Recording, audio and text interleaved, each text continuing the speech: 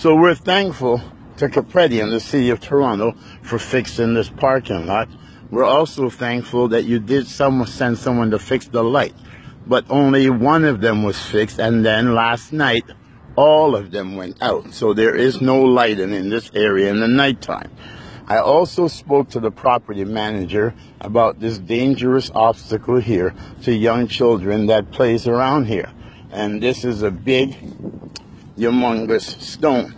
And as you can see, it is dislocated from the ledge.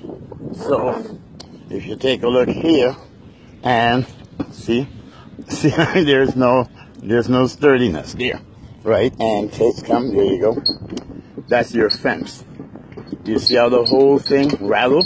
Now what if a bunch of kids come here and start to play like that, like kids are tending to do? And I brought it to the attention of the property manager. I brought it to the attention of the assistant property manager.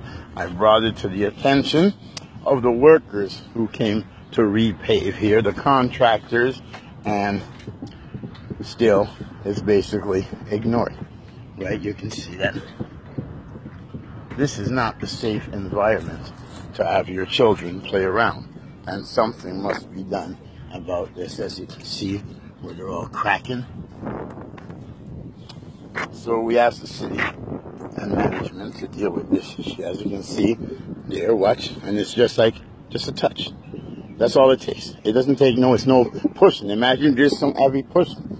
This is just a touch. God is with us.